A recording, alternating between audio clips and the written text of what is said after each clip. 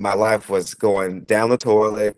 So I really just had to make a decision. Like, I can take the tools that I know are working for me. I can go outside of my school and go find other resources from this big magical city that is New York City. Um, and I can make my own experience. And that's kind of what I did. Like I didn't rely on the, the program or the institution, if you will, to to really carry me into anything because I knew they were going to support me. So all right, what is up? What's Out Media today? We have another special guest today. First off, X, how we doing today? What's going on? How you guys doing? Today we got my brother on the show as well. We're real cool with this uh with this guest, so we're gonna have a pretty good time. Yes, sir, indeed. So thank you, Larry, for joining us. Dylan Freeman, go ahead, introduce yourself. How are you doing today? I'm good. I'm good. Um, I'm Dylan. I am a creative performer. I'm hailing here from Shaker Heights, Ohio. Grew up with all you guys, so I can't wait to start talking. You know. Mm-hmm. Great, great, great. Yeah, we're super excited to get into it. So, first off, before we get off into your acting career, let's uh, go ahead and start off with uh, grade school what what type of person were you in grade school? What was the experience like for you? And uh, let's hear about that. Um, I mean, I wasn't really too different than I am now in grade school. Like I was always kind of beyond my years, you know, slightly more mature than other students. But I mean, I wasn't always too aware of that. It was just always just kind of like, you know, how I operated.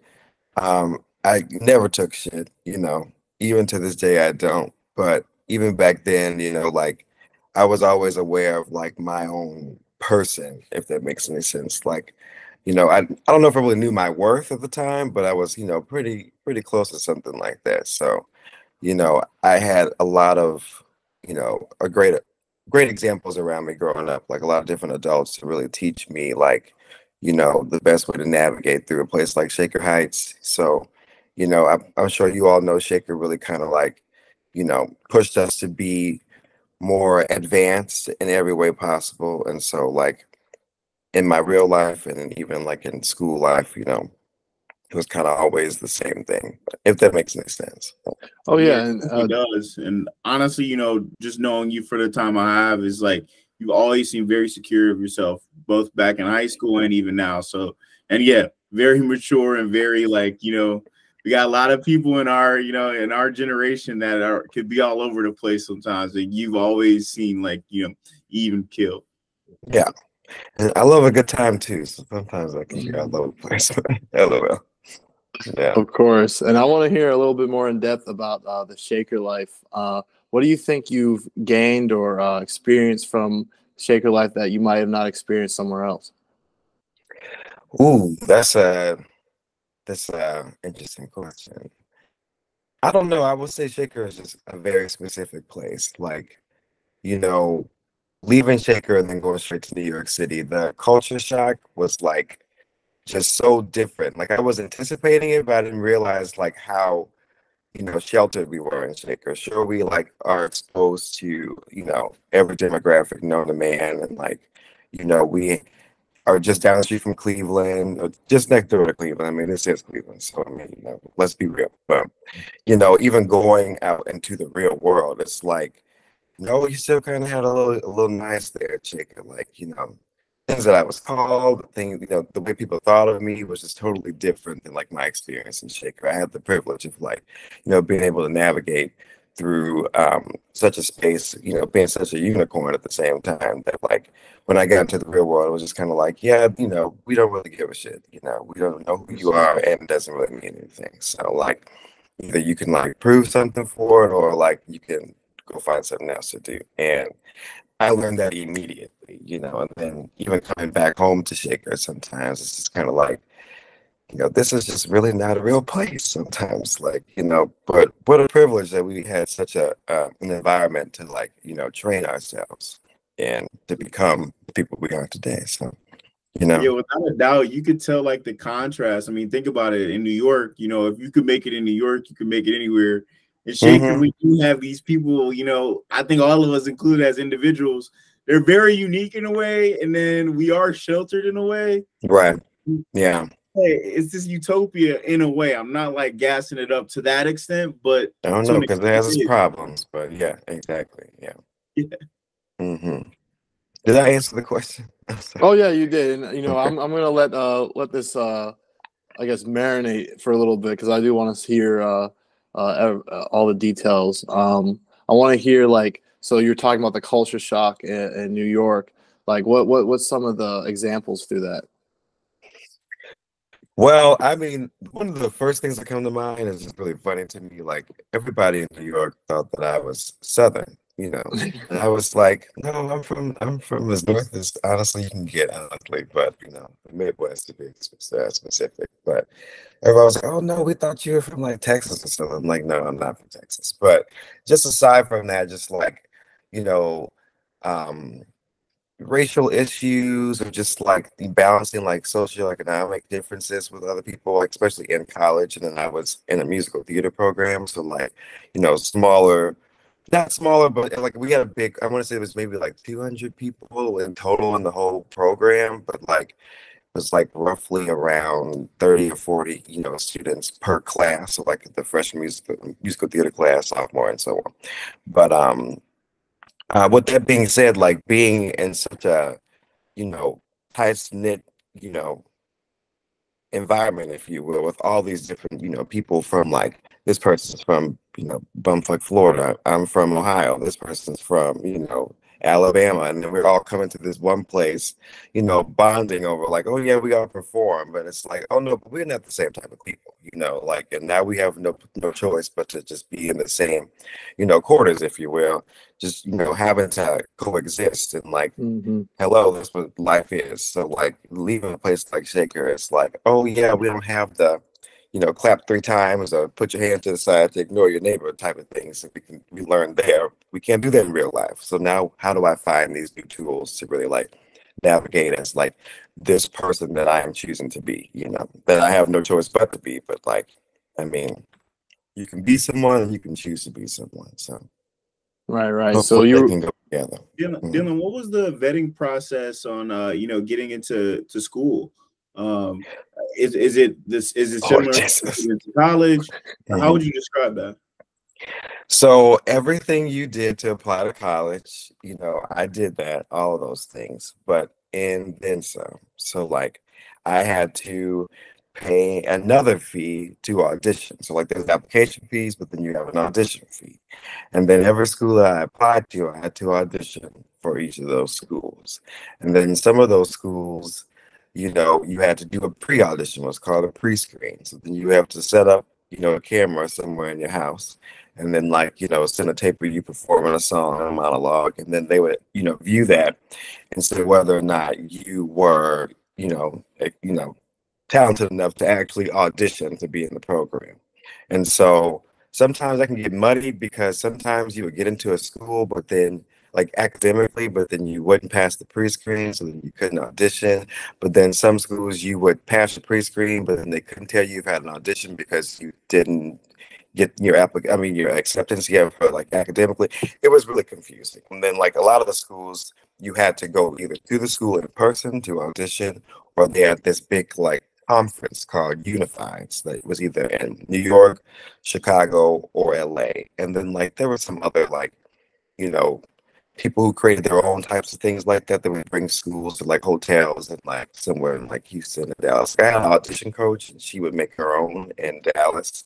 Um, and hers was called Moonifieds. Not important, but um, yeah, but that would cost a lot of money. So I think me and a few people from Shaker, we went to Chicago um, Unifieds and spent the weekend there, just like going from audition room, you know, a conference room, ballroom to like even people just like hotel suites. Like they would just be sitting on the edge of their bed with a laptop and you'll be sitting in front of the TV, you know, auditioning right. for the head of the program. So very, very complex, dude.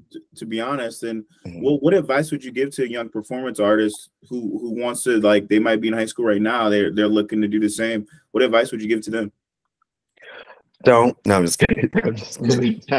um, um, I would say like the most important thing you can ever do, but like the earlier you learn it, the, the better you'll be in the long run. Like figure out what you're doing everything for and what it is inside of you that you're trying to let out.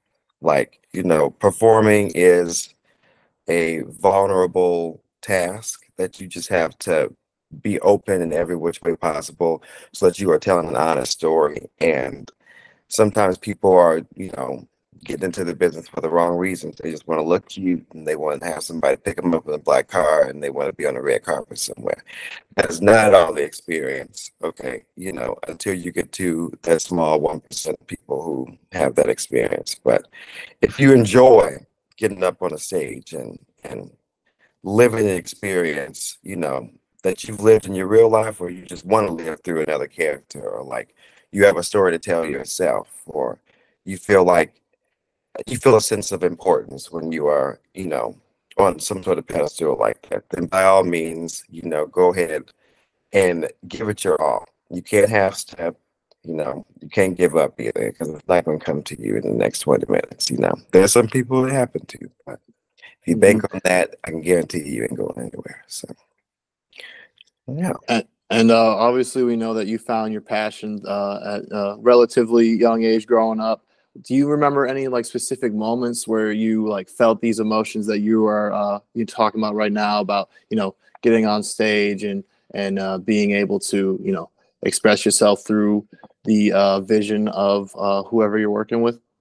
Yeah, I mean, I started singing at four by mistake. Like I, I didn't know I could sing, but my great grandmother like was a choir director, you know, and the the irony is that she was honestly almost tone deaf. But you know, she she knew she could hear talent, but she wasn't the most talented herself. But sweet lady. But anyway, she just told she heard me singing one day with her in the living room and just like told the family like you know you need to keep an eye on him and this gift like it's probably going to grow into something else but like do not give up on him and his gift so from there my family you know heeded the call and and took it very seriously and then from there like I want to say in the third grade, I was a student at the Cleveland Institute of Music, and then, like shortly after that, I became a singing angel. So that was like I must in the fifth grade, I became a singing angel. So from there, like I had so many different experiences where it's like this is no mistake. Like you know, I I belong in environments like this, and um, in school, like not everybody knew that I was a performer. I mean, people still don't even know I'm a performer. Who you know we've graduated with and all types of things because there was nothing that really led with, you know, in school. I was just kind of like Dylan. And, you know, there were different things that made me stand out in school, but the thing the thing that really made me feel special was like my gift. And I always protected that. Sometimes I would, you know, shield it from others just so I could make sure that I was like doing it for the right reasons. And um yeah, like I I don't know. I think I'm rambling, but yeah. I got you. No, I got you. Solid, that was pretty solid. Uh, mm-hmm. tell me some experiences from the Singing Angels. I've heard of the Singing Angels. Uh, well, how would you describe it? You know, to the audience, and you know, what was your experience? So it's like this world class youth chorus um, based in Cleveland. Um, I think it was founded in 1964 by a man named um, Bill Boehm. But um, I think they're still around to this day, but they aren't really like doing like how they were back like back in the 60s. They were like, you know, touring with all types of artists. They had a, a new album every year. Um, and then like once I joined, it was still kind of the same thing, but it wasn't as big as it was in the 60s. Um, but like with them, we've we've toured nationally and internationally. Um, I've never recorded an album with them, but I've gone to the White House with them. Um, I sing at the National Christmas tree lighting with them. Um, yeah, lots of cool things. I did this thing that I never knew existed called the World Choir Games in um, Cincinnati one year, and I got to sing with Kirk Franklin. So lots of cool things. But um, that was really kind of like my introduction into like the business as a whole. Like I kind of got to see like how all these different you know factors came into play for like production and like you know tours and stuff like that so um, i would say that's really when the bug really bit me like we used to tour in new york city um, like once every year. I want to say like in the spring, and they would always take us to see a Broadway show, and they, we would have like a, a private master class for like some of the cast members. And every time, like people would be like, "Oh yeah, like we can see you on Broadway," and I was like, "No, you can't. Like I don't, I don't want to do that at all." And like now, look at me saying, you know, a whole, you know, former musical theater student. So, but I don't know. That was kind of like the the precursor to it all. It kind of like introduced me to all the different things that I could do. Like, because I, I thought I was going to be the next Usher when I was younger. No lie. no lie at all. I just thought I was going to be, you know, somewhere moonwalking and popping with Chris Brown and, and Usher. Because that's what, you know, we were thinking it like in my family. That was, we didn't really know too much. I mean, we did like, we knew about the theater and everything else, but like for me to do it, it was just like a lot of different reasons where I was like, oh no, that's not for me. But look where we are now. So. Mm-hmm. Yeah. And uh, so getting into college, you know, you have all these uh, credentials and experiences. Do you felt like you were well equipped, uh, you know, during these screening processes and getting in? And what did you feel like, uh, you know, uh, helped you out through this process? The process of of like auditioning for college, or yeah, auditioning and then uh, getting into as well.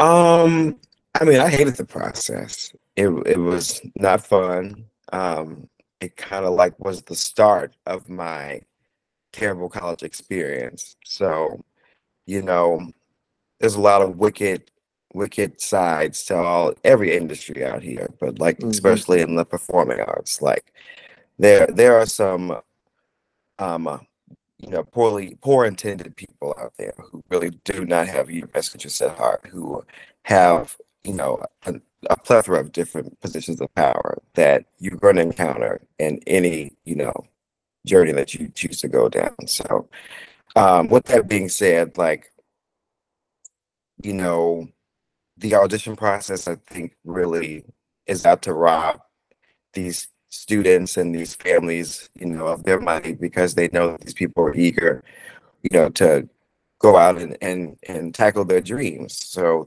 they know that people really will do anything to you know get their child out there to do things so like you know you would see parents trying to sabotage other kids and like mm-hmm. you know people stealing audition books and stealing you know dance shoes and you know throwing stuff on people's audition clothes all types of you know random stuff like that and then you get into college and then you see like how why you got accepted and like the reason why you got accepted. Like my school was trying to, you know, market themselves on being like, yeah, we're one of the schools that, you know, you know, accepts black people and brown people. It's like the fact that y'all kind of say it like that is a red flag. So let's see what right. this is about. And then we get there and it's like, well, you accepted us because you just really wanted to commodify us. And now here we are, like, you know, three of the same archetypes just sitting here looking at each other like you don't even know the difference between the two of us. Like I had a friend who they would call us the same name every day. And it's like, how can you not tell we're not the same person? But you brought us here because we are the same person to you. And it's like, yeah, we have three of those times, we have four of those times, we have three, eight of these. It's like it's almost like a menu that they were like presenting us to the industry with. It's like, yeah, just come to our school and like if you find somebody and you like them, then great, they're they're amazing. But if nobody comes here and finds you and they like you, then we think you're bad. So, you know, there's a whole Vice TV docu series about um, the musical theater program that I was a part of in New York. It's called See Our Truths on YouTube. So I'm not in it, but my name is in it a lot. And um, yeah, I don't really know what's going on with that process now, but it um, it was a lot. There's 15 years of, of abuse from that program that my class and like group of people at that time were you know, some of the spearheads of trying to like get that story out to the masses. And then we found out it was happening everywhere. Almost all these musical theater programs, or ballet programs, or commercial dance programs, or you know, you know, all types of things. It was happening everywhere. So, you know, I do not regret my college experience, but it was definitely a motherfucker. Mm-hmm. Can I cuss? I've been cussing a lot. No, you're good. You're good. You're, you're good. You're good. um, so question. So like, can we can we dive into that a little bit more? do you want to? Sure. Yeah, no problem. So mm-hmm. what was the full experience like? I mean, you you already explained it. You got these like archetypes. They they got you already placed as you know probably this is black man that can sing, right? Tall black dude that can sing. Put you off to the side. They, they typecast me as uh, one of the Prince Charmings. LOL. Prince Black Charming. Prince Charmings. Yes, Dylan. Yeah, you wanna chop Mhm. in there real quick? You got a question for him? Nah, I just say what's. Yeah, Justin here, man. Justin. Yo, what's up? Yo, what's good, Dylan? How are you? That's what I say was good. You should jump in. Come on, we got another person. No, yeah, he's like, I- come I ain't on. decent, bro. I He said he's not decent I right now. that's okay. That's okay.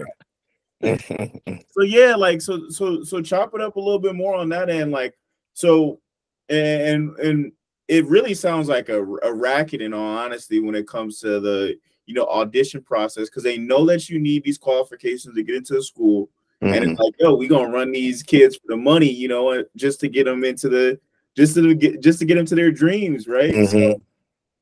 yeah, Yeah. experience?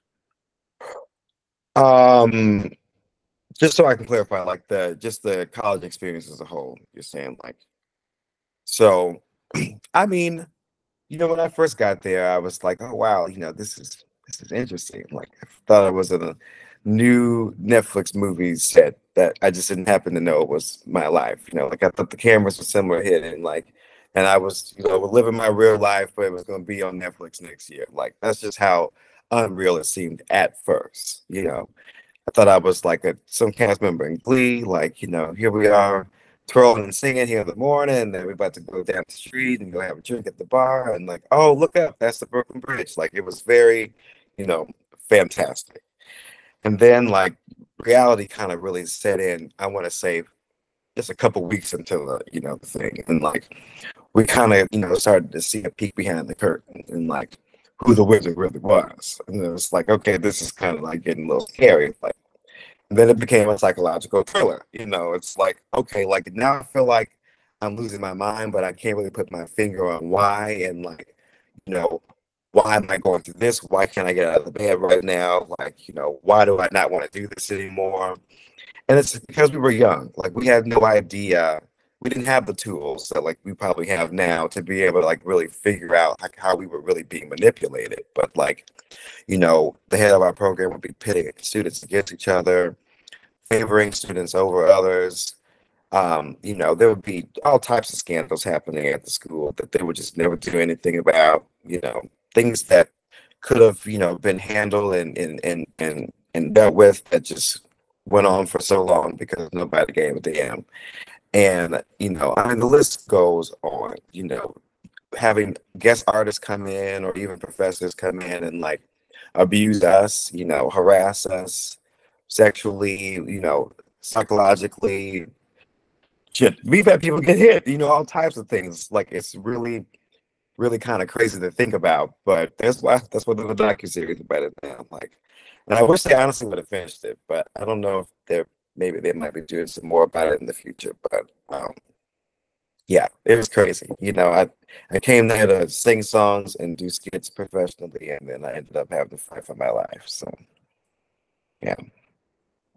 See, bro. Sheesh. What did you learn from that? What did you learn from that? What did you get out of that? What was there any positive that you could drain out of that horrible situation? Or yeah. um, absolutely. Like when I look back on it all, like the funny thing is that I had everything that I'd asked God for. Like I was in New York City. I always wanted to live there. I always wanted to be a performer. Here I was, the number four musical theater program, you know, like training and you know, I was getting ready to do my dream show my sophomore year, and, and it was being directed by one of the original cast members. All these things, I'm like, okay, this is what I asked for, but like not in this way. You know, I ended up being homeless for like months, like almost a year, and it was just a whole bunch of bullshit raining over my glorious parade that I literally had spent so much time as a, a child trying to prepare for myself in that moment. You know, I mean, I wasn't that old. I was I was 19 years old, but um, for that point in my life, that is what I wanted, and it's not in that way. And so, I had to, in the moment, find like the good in it, like you're asking, like what am I getting out of this overall, and like I still buckled down on like the things that I knew that I could use, you know, as like a performer, like different tools I was getting from like my my voice teacher and stuff like that because a lot of our curriculum was bullshit and I wasn't wasting my time. Like, you know, a lot of people were like, "Oh, you just you can't be lazy and you can't do this." I'm like, but you also can't just sit here and break your back just doing busy work all damn day.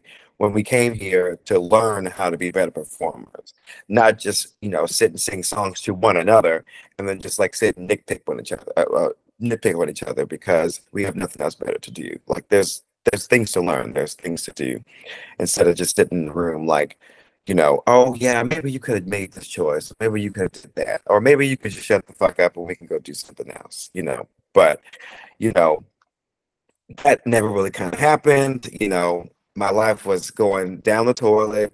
So I really just had to make a decision. Like, I can take the tools that I know are working for me. I can go outside of my school and go find other resources from this big magical city that is New York City.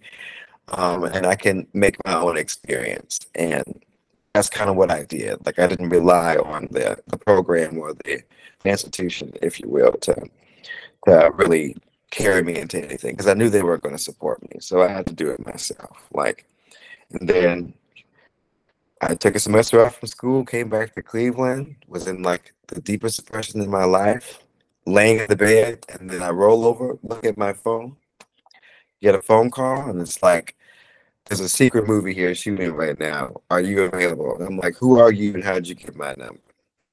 I'm like, okay, I guess. Why not? What's the worst that can happen? And I literally that night started watching Get Out. I don't know why. I was just watching Get Out. And I'm like, okay, yeah, I'm, I'm talking to my grandma. I'm like, yeah, tomorrow I'm supposed to be in this movie. I don't know what's going on, but you know, we'll see. I show up, and the first person that says good morning to me is Daniel Kaluuya. And I'm like, what the fuck is going on? Like, where am I at? Am I at the right place? And then I get to set. Next person that says come on to me and offers me a cigarette is Lakeith Stanfield. And I'm like, what the fuck is going on? Like, where am I at? What's happening? Next person that walks past is Ashton Sanders. I'm like, I was just watching Moonlight last week. Like, what, what is happening? So from there, that was the, the beginning of the next chapter of my life. And now here we are today. LOL. That's great, man. I'm glad that you know all that uh, trial and well, it's not even trial and tribulation because that's just that's just being trapped in uh, you know a situation where everything's against you and like you know you're you're reminding yourself like oh I worked for this like I, I built my whole life for this and it's like this has to work out. So I, I can only imagine like what was going through your head.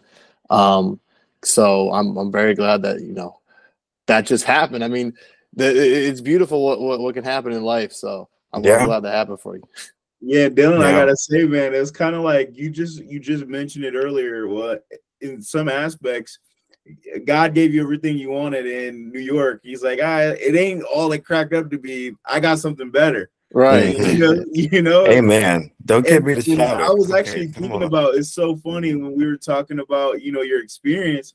You you said it started turning into a psychological thriller. I'm like, bro, this sound like Get Out. you know what I'm saying? So, Let me tell you, it was it was Get Out at its finest. Okay, like I don't know if you've ever seen the show Harlem, but like they had this character. She was like a performer too, but like she had just booked this Broadway show, and it was Get Out the musical. I promise you that my experience in college was that Get Out the musical. Okay, like just everybody twirling around, singing bullshit in your face. Like, yeah, are you feeling it now, Mr. Krabs? Oh yeah, I was feeling it. I promise you.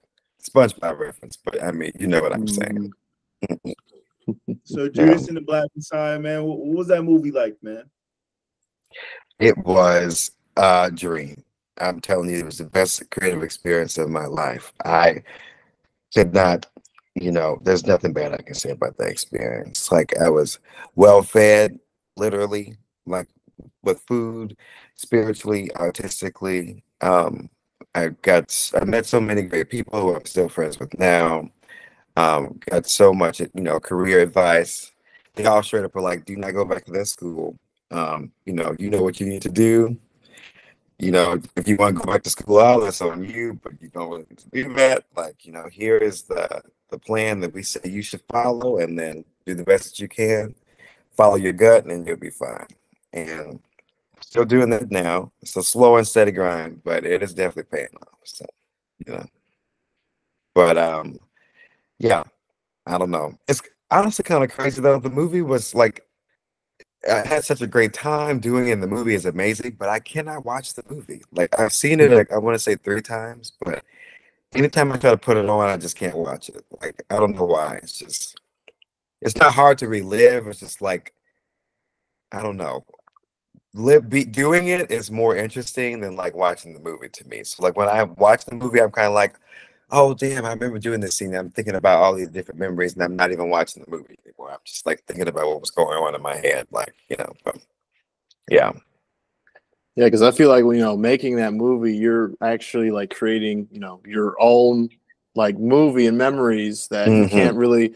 Obviously, you can can tie some of it to like uh the actual movie and its message, but at the same time, it's something completely unique to you know your experience. So I can definitely see that. Yeah. Um, I, I and we were like, I'm telling you, we thought we were Black Panthers during that time.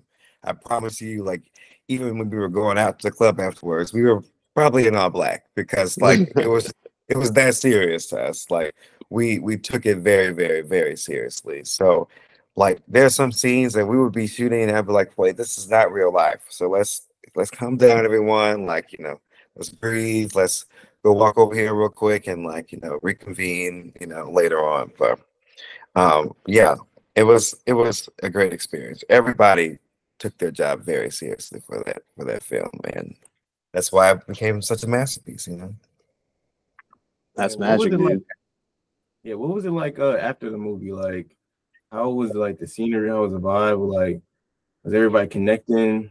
Was it like people? People were people still hitting you up afterwards? Like, what was like? yeah i mean but not as not as much as you would think so. Like you know it's kind of hard to like stay in touch in the business because as soon as you're done with something you're either like going straight to something else or you're just not doing anything at all. And if you're not doing anything at all what you're doing is looking for something else to do. So you know you don't really have too much time unless you know the person is right in your area in your space. But does that mean you lose a connection not at all? Like there are people who i haven't talked to since well haven't seen since judas but like do we talk every day? No. But i've run into them a few times and it's just like we saw each other you know last night and we just reconvened today you know so um yeah you know it's kind of hard to like fake the funk on set you know everybody everybody knows what they're doing they know what they're doing for themselves and if you don't know what you're doing or what you what you're there for it's real easy for you to be like you know weed it out you know. I've I've watched people get fired for the craziest things in the world. So I've been fired. So I was fired from Judas. if you didn't know that, and then they brought me right back, and I was like, "What's going on?" I got fired on my on camera because my wig looked crazy. That was my. I didn't put the wig in my head, but they were like, "Yeah, we don't know if it's working out." And then I just- they they were like, "Oh yeah, you're supposed to be on set next week," and I'm like, "Oh okay, great." I didn't know I was fired until I got back to work, and somebody was like, "What are you doing here?" And I was like, "I'm here for work," and they were like. You were definitely fired, but I mean, hey, you are here. You you are on the schedule for today, so welcome back. And I was like, okay, great, thank you very much. Like, you know, what's going on? But stuff like that happens all the time, which is why I got called in to be in the film because somebody got fired and I had to replace them. So, you know, yeah. Like, what was your like craziest like experience on set? Like, just name that Hmm. one time where you just like had enough. Like, what, what, or if somebody approached you, like, what was that like? What was the craziest experience? In a good way or a bad way? It could be both. It, I mean, a the bad way. What was the bad way? Like, who approached you? And like, what was the craziest experience? Like, I mean, I I've worked on a number sets, you know, since Judas, and let me tell you, they all have not been that fabulous. Okay, not at all. Okay, some of some of these movies that you've seen that I've done, that behind the scenes it was not that glamorous. I can guarantee you that. I'm not going to be too specific, but um, there there have been sets that I've been on to, to give you an example, on Judas, you know, we were eating mac and cheese, we were eating yams, you know, lobster tails, shrimp. You know, they had a beverage table full of all types. There was teas, kombucha. You wanted a smoothie, you wanted that. You didn't want food in here. There's a truck outside. You know, they got tacos, they got this and that. There was food everywhere. I on the table they were literally feeding us Fyre Festival, you know, fucking sandwiches with a piece of cheese, some lettuce, a tomato. And it's like, you know, here's your lunch, you know, then you got an hour to eat this. An hour, I don't need an hour. I don't even need 20 minutes because I'm not eating this. So let me go over here real quick to my little little honey wagon trailer I'm gonna go order some DoorDash, okay? Because this is this is crazy. Other things like that, you know, you get to set and it's like, we expect you to do this at another, but we don't have anywhere for you to go. And it's like, okay, well, how do you expect for me to do X, Y, and Z? But you don't even have a chair for me to sit in, you know. But then, oh well, you know, you weren't here in, in five seconds. Well, I couldn't get there in five seconds because I was in the bathroom across the parking lot because you don't have nowhere for me to be, you know. So now make it make sense, you know. Or, well, we don't really like the way your costume looked. Well, great. I was in fittings for the past two weeks, and you just now realized you didn't like this costume, even though you, we didn't took photos of this costume for the past two weeks. Like random things like that. Like, you know, you never know what's going to happen, but you just got to roll with the punches and get over it, or you will be fired. Because let me tell you, I didn't, you know, my mouth and it's gone off a few times, and I have been fired. So, you know, hey, comes with the territory, I guess. But you gotta know your worth. You know your worth, it doesn't matter what happens. You you're gonna always be there. What, what God has for you is gonna always be for you. So don't be played. But if it ain't that bad, you know, try your best to navigate through it. That makes any sense. But some of the best things, oh yeah, I've met some of my idols. You know, swag surf with some of my, you know, idols. Not idols, but like people that I do look up to, you know, Yeah. in the industry. Um, I don't know what that is, sorry. Um, yeah, all types of things. Um, I don't know, I'm trying not to go into too much detail because um, I don't want nobody coming after me. I don't want- Like, so you're talking about uh like you know your experiences through like how they're treating you this that the other. They're Mhm. feeding you well they're not feeding you well. What uh type of activities are you guys getting into outside of work? Like whether it's through the production or through like the actual cast members or is it just work? Is it just like simply you show up and just you're doing work uh the all the hours that you guys are on set I mean, yeah, like I said before, it's it's different for each set. Like, you know, there are some sets, you know, everybody's best of friends. And there's some sets where don't nobody want to talk to each other. You know, everybody just show up to work and then everybody go home. So, you know, people you're close with, sometimes you're out to dinner, sometimes you're at the club after work, sometimes it's let's go get a massage because we worked at, you know, 50 you know, or we've worked a lot of hours this week and we're tired and we have the weekend off. So let's go to the mall or something random like that. But nothing too crazy. It's very, very regular. You know. For a good just- movie, do you need a good background? Like, do you need a good environment in the, on the back end? Or are there like movies that are being made that are like, you know, award winning, but it's just like copy, copy paste, copy paste. Like, this is how we do it. Like, like you said, like uh Mhm. in, in your first experience, you know what I'm saying? Like, y'all eating yams and macaroni and cheese, y'all got different beverages and stuff. You said the other one Mhm. is like, you know, yeah, here you go. Here's a you know white bread sandwich with mayonnaise on it Right. do you need to have that like full experience to ha- to put out like a really solid movie? Uh yeah, absolutely. Like, you know, I mean, there are a lot of things that create a great film. You know, it's great writing, it's, you know, great direction, great um, creative design, uh, great acting. And if you don't have if you don't have a, a great environment for your your your creators to come and like create, then you're not going to get a great product. You know, like I've worked on a set where we were on set for hours and hours and hours, all day, all night, and their like solution or like the way they would try to make it feel better is they would send us like a latte truck or something. We would just walk up to the truck and just get free lattes like five o'clock in the morning. And it's like, you're killing us. Okay, that's not helping me right now. Like, sure, I'm awake and I can, you know, keep shooting till five o'clock in the morning, but like, what on earth do you think this caffeine is going to do to me in the long run? And we have to do this for months. You know, like And then we we show up and it's like, oh yeah, your call time was 6 a.m. and now it's 2 p.m. and we still don't know what the shot is. What do you mean? Like where how do you not how did you not know what the shot was last night? What were you doing all night? You know, or I know what you were doing all night. Probably still figuring out the shot for the damn the day Mhm. before, you know. So it's like, you know, I don't know. But can you hear my phone going off? No, we don't hear it. Oh, okay. I'm sorry. I'm new to this whole virtual thing. I don't I don't do this often. I'm sorry. LOL. You are all good. so, uh, what what what practices do you do like individually to like keep yourself sane through all this like uh you know sitting for hours waiting for this waiting for that or maybe you're just feeling an off day like what what's some of your rituals to make sure that you're on point Um, nothing too crazy, I promise you. Everybody knows I love YouTube. It'll take nothing for me to get go to the craft services table. For you to, who if you don't know what craft services is, it's like a table full of snacks all day. They have nothing but all the snacks that you've asked for. They, their only job is to bring everybody on set their favorite snacks. And if they don't have it, they'll go find it. They'll literally go drive off and go get it somewhere. So you go up there, you want some hot, you know, Funyuns.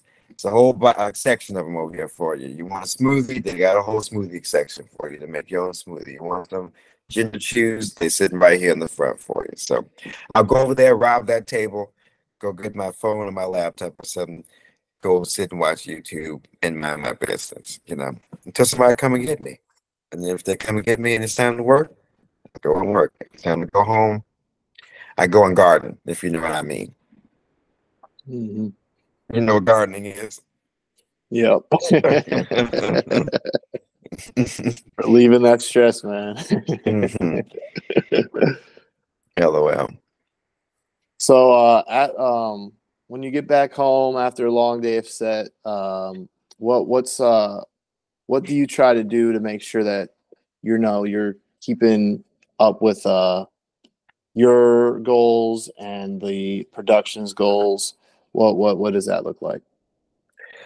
Um, honestly, if I'm being honest with you, the first thing I do when I get home is try to forget about the day. Like it's kind of easy to like immerse yourself in like that world all day, every day, because you're literally there all day, every day. And so if I come home and I'm like, okay, let me keep, you know, the day going. It's like, I mean, it's one thing if you, well, that's, I mean, that's also too why, you know, we like to go out and do things afterwards. So you can forget about what you just done. There's an outlet. So if I'm coming home, I'm probably going to bed so I can rest or, you know, watching YouTube, like I just said, you know, escaping from all of it all. And then maybe it's like doing some activity or something. Maybe probably doing some laundry or cleaning up because honestly, I'm really bad at like getting things done and still like keeping a, a balanced lifestyle at home. Like, you know, everything might be going great. It's probably a pile of clothes somewhere in the room, you know, or uh, a bag of trash I probably need to like take out. But you know, that's my business. Don't judge me. Uh, what is it? Um, I guess one of the big things, the big question is, the market is so different compared to New York and Cleveland. Mhm. Um, you know, I know. I mean, I know. We'll, talk about it. I know you plan on wanting to go back to New York pretty soon. Um, I don't know if that's true, but Oh, okay. Okay, okay, my Um, bad, my bad. I- but uh, yeah, I don't, I don't know what's going on. I'm just, you know, no, I got you. So, what is the Yeah. difference like on the market side? You know what I'm saying? Like, you know, are there a lot of productions coming to Cleveland? Like, what is that like? yeah. I mean, people don't realize that Cleveland is like one of the the top, you know, places for filmmaking right now. Like, and it has been for some years. Um, and 2024, honestly, I would say is Cleveland's biggest year yet for as, as far as filmmaking goes. So. Um, I'm sure you've heard of, you know, two film or three films that are here already right now or gearing up to get here. So, and there's a boatload more coming afterwards. So, you know, honestly, if you really, if you think about like, you know, the industry, it stretches everywhere. Like, if you really want to get into the work, you just do the work and then you will find it anywhere you are. So it doesn't matter what city you're in. Like in New York, you know, I was there for theater reasons and you know, I was, you know, semi successful with that there, but you know, film is film is happening in New York City, of course, but like it's not really as accessible as it is in a place like Cleveland or LA or Pittsburgh or Atlanta. Um, and the list goes on. So, you know, yeah. And uh, let an audience know, like, what's the difference between um, film and theater, and what's your preferences uh, in terms of performing? Film pays more. That's the biggest difference right there. Um, you know, the theater checks are not too bad, like, you know, but theater spans, I mean, so does film. Like, you know, you could be doing some indie films or you could do a, a blockbuster. You, you know, you never know what you'll be falling into. And the same thing with theater. Like, you may be doing some regional production that you're getting like a, a lower check for. You might be on Broadway. Like, you know, it, it's it's up to you. It's, it's up to what your your your talents allow you to do, if that makes any sense. Because everybody can't be on Broadway, you know. Everybody can't be on camera either. So, you know, there's a difference. But there are some people who have the gift to do both. You know, it's still up for debate for me, even though I, I like to think that I, I do have the gift both. LOL.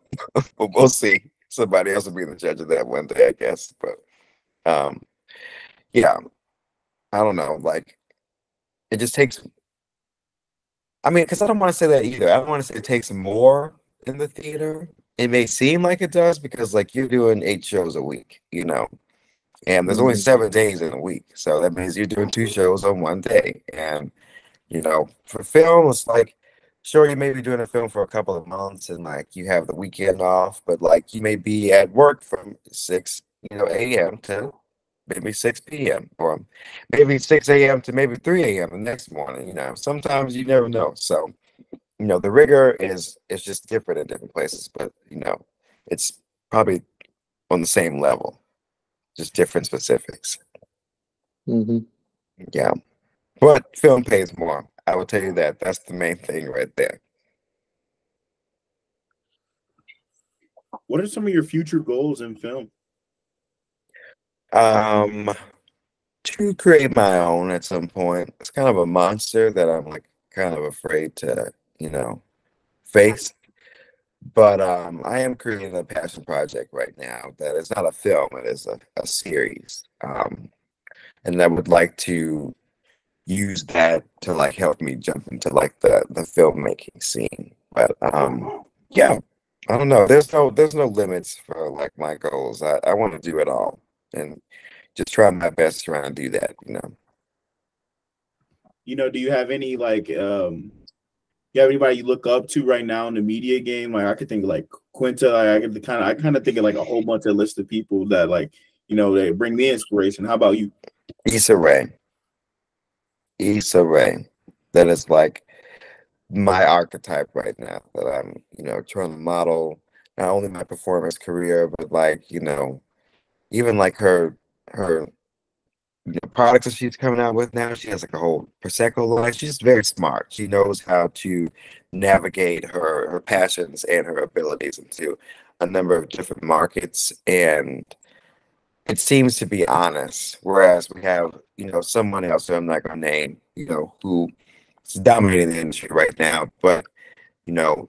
His work doesn't necessarily always seem to be honest, you know. It doesn't always seem to be the the uh, the uh, best intended work out there, if that makes any sense. So, yeah, I'm not gonna name a name, but I hope you know what I'm talking about. We're not gonna get into that, but yeah, you know, um, I would like to be rich and you know good at what I do, not just rich and just so happen to be doing what I love. You know. Mhm. So when you're, uh, you know, searching for these goals, you're searching for uh, productions that match your values and match what you want to do in your career. What's it Mhm. like? Like, you know, obviously that's a very, very hard task. Let's hear the details on like what what the steps are to finding what you need. for I'm sorry, finding what you need for what? Uh, finding uh, just the next uh, job that you need. You know. hmm Um, I don't know. I feel like this is your question, or maybe I'm just not comprehending? Like how I go to find the next booking, or like Like like know? what what's the experience like Mhm. finding something that matches what you want out of the production? Um, I mean, it's just it's not really up to you. Like, you know, it's kind of like trial and error. Like, you know, you can have your own values and things that you're looking for in something, and then you may sign up for something it's just not that at all. And then you have a choice. Either you make compromises and, you know, do the best you can to get through the process, or you walk away. And So so a little bit of a gamble for you. Mm-hmm, Like, you know, and I'm I'm not against quitting. You know, I've I've quit some projects, you know, that I'm still promoted. Was like, yeah, I worked on this because I did. I got paid and I was there. But I also went home because this wasn't making any sense. You know, you're not gonna tell me that I booked for these three days and we haven't done anything these three days. Now all of a sudden we need you to come back. No, I'm not coming back because I have things to do. And I've done enough. My check is cleared and thank you for your time, you know. And I don't really care what that does for me in the future because I didn't do anything wrong. You did. And if that means I have to, you know, pull a Mo'Nique Kevin Hart, I mean not Kevin Hart, Mo'Nique Katt Williams, you know, type of, you know, tactic to really get myself through here, so be it. But I will tell on you, like Mo'Nique said. I will tell on you. I will tell on you. Okay. So be careful. I'm gonna tell on myself. So that that that's no problem for me at all. I have no problem with admitting my faults. So I'm nowhere near perfect, but I try my best, and it's not too hard for anybody else to do it either. So you know, there's no excuse in my area. Yeah, true open book you are, to be honest. Uh, Mhm. uh, let's talk about it, man. Um, what are some of the like? What what are some of the greatest experiences that you've had, just overall? I'm talking from you know singing angels throughout high school, throughout the movie, throughout you know your time in New York. What are some of the moments that you were like, that is exactly the spot that I want to be at again, or I want to be past that, or I want to, you know, what what are those like those like milestone moments for you? Um, it doesn't take much to get me excited, if that makes any sense. Like, I don't, I don't, I, I like to work. You know, I think when I'm when I'm unhappy is when I'm not working. You know, and I've done a great job of like finding other things. You know, when I don't have the privilege of being able to, you know, work creatively. So like, even when I was in New York for some times not you know doing some show or doing some concert preparing for something like i was managing you know an off-broadway theater you know just down from times square like and i was also working at another one just not too far from there on um on 55th so like it was something still going on for me like even though i wasn't up on the stage performing i was still making the you know the lights come on every day and like you know facilitating that environment still so i was still being fulfilled um, and so fulfillment is really my biggest goal. I don't, I'm not too, you know, bougie about what I do. I just need to be doing something and I'll be all right. Like, you know, right now I'm in casting pools and I'm, you know, sending tapes left and right right now. I just got uh, a new agent, but you know, I'm also running live music out here in a social club down here in Shaker. So like eh, I'm still keeping the the fulfillment going. Like, you know, that job pisses me off every single day, but like I'm working with music still. So like there's something that's, you know, keeping my inner child going. That I'm not like, oh, you know, woe is me. I'm not in the movie anymore. You know, when's the next one gonna be? Or when am I gonna be able to sing a song again? Or when am I gonna be able to be up on the stage twirling around? Like, you know, it's gonna happen again, and I'm not really worried about it. There's some things that could have happened that I said no to. So, you know, you know, you have to be intentional is is my my point, I guess. Yeah, that makes sense. That makes sense. Uh, and that, that's great to hear that you're really chasing that fulfillment. And obviously, you know, especially in your career, and once you are very consistent with it, the money will come. Uh, Mhm. what is the difference from like how is a silver screen like movie star like treated compared to someone just starting out on set? Ooh, my God, it is a difference. Okay, my God, is there a difference? What we have is called a, a call sheet, and the actors are numbered on the call sheet. You know, and um, the lead the lead of the film is always number one on the call sheet. Higher you are on the call sheet, the better your treatment is. Lower you are on the call sheet, the worse your treatment is. And if you're not on the call sheet, there is no treatment. You don't exist. You just happen to be there, and you better do right before they go replace you with somebody else. You know, because they can do that. They can do it with somebody that just so happened to be taking out the trash in that moment. If they look like you, guess what? You've been replaced. You know, I've seen it every day. So, you know, you could just so happen to be that walking down the street and it's like, you come here. Are you interested in doing this? Can you do this? Say this word. Oh, great. You got it. Come on in. Somebody's gonna take your hair and makeup. This is what you'll be wearing. Blah blah blah. Skip. It, it happens that fast every single day. So, you know, it's it's it's a lot of moving parts, but if you're up there, if you're that A-list actor, you know, there's a car picking you up, that your food is getting delivered to your trailer, that trailer's getting cleaned every night, you know, bringing the, all types of things at your beck and call. You can bring out your family, that fly them in, that put them up in the hotel, all types of stuff, you know. But lower on the, you know, on the call sheet, you might drive yourself to work. Okay, you might need to figure out where you're going on your own. You know, if you're number one on the call sheet, there's a whole person dedicated to you on that set to walk you around and take you to the bathroom and make sure you look right and you know rub your neck if it's tense. It's all types of you know shit like that going on. So you know, Lord, please do it for me. You know, sorry. I'm tired though. Just... Moving your ranks up, moving moving up the ranks, right? Mm-hmm, mm-hmm. like a video game. Yeah. Um, let's talk about your job right now. I mean, you're talking about part or part of your job right now is doing some live music.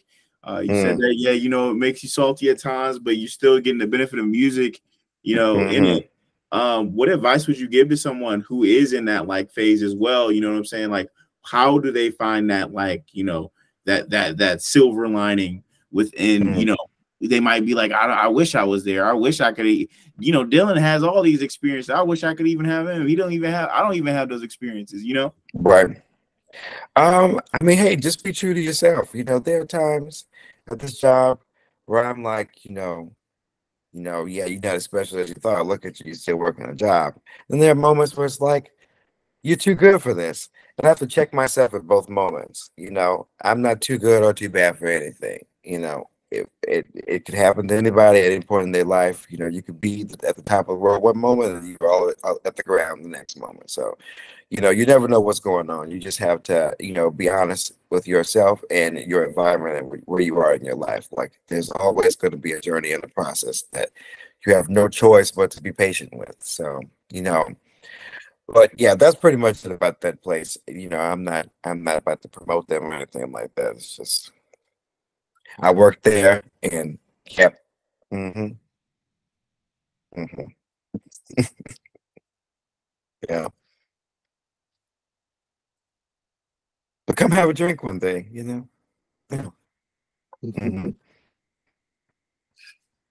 Yeah. So, um, uh, I also want to ask, uh, what what values do you get out of uh, your work, uh, and you bring into your everyday life?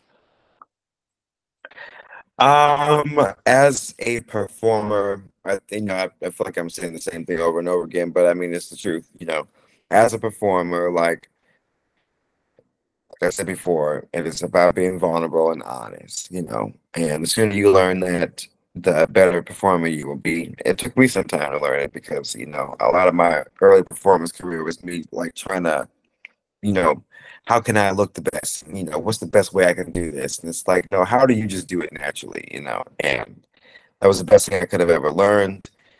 And with that honesty, you know, you can you can try to just be honest in your everyday life. You know, you know, you don't have to fake the funk on stage or in real life. You know, if it ain't working out, it's not working out, and move on. You know, like don't sit and try to manufacture some bullshit just so that you can get, you know, force some results that can come on its own time, you know, the way that they're supposed to, not, you know, how you want them to. So, yeah, I just try my best to like, you know, see things for what they are, you know, artistically and just as a person, you know. Well, hey, thank you, Dylan. Uh, real quick, X, Larry, do you guys have anything uh, else you want to finish off with?